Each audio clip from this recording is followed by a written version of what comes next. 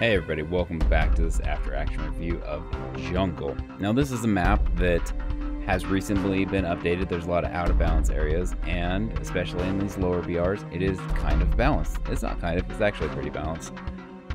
But what we can see here is that the team on the right has a complete and utter failure because they all went to the north and they had one person go C.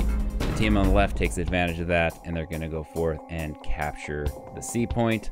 The team on the left also, their north uh, squad or grouping of players was able to get to the hill that's at the A45 area, or it's the B45 area.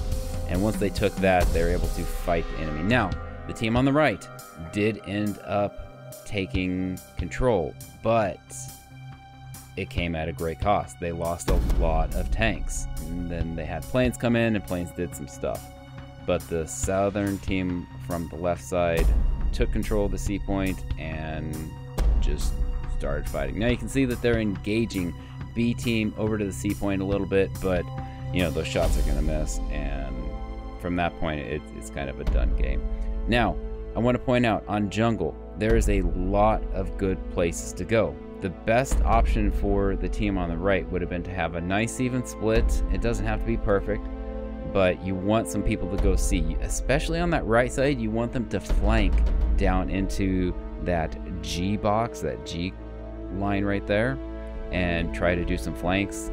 Because if the team on the left has anyone sit down to where the tank destroyer is, that's on the left side up in those hills, they can they can do a lot of damage.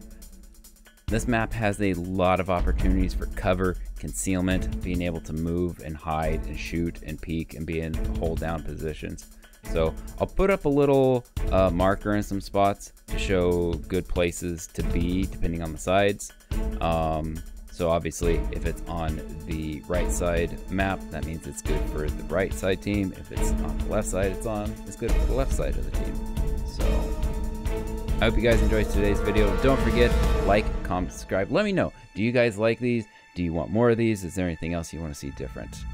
Again, I'm here to make content that helps you guys learn to play War Thunder, enjoy to play War Thunder as much as possible.